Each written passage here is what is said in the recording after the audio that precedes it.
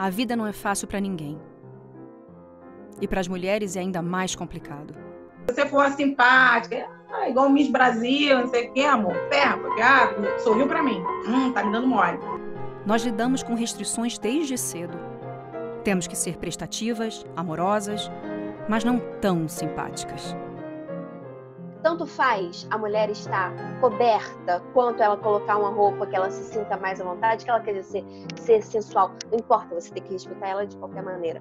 É objeto para apresentar aos amigos, é objeto né, sexual, né, para tarefa doméstica. Então eu acho que boa parte dos homens ainda nos enxergam muito como objeto. No trabalho também, olha que bonitinha, ela está trabalhando aqui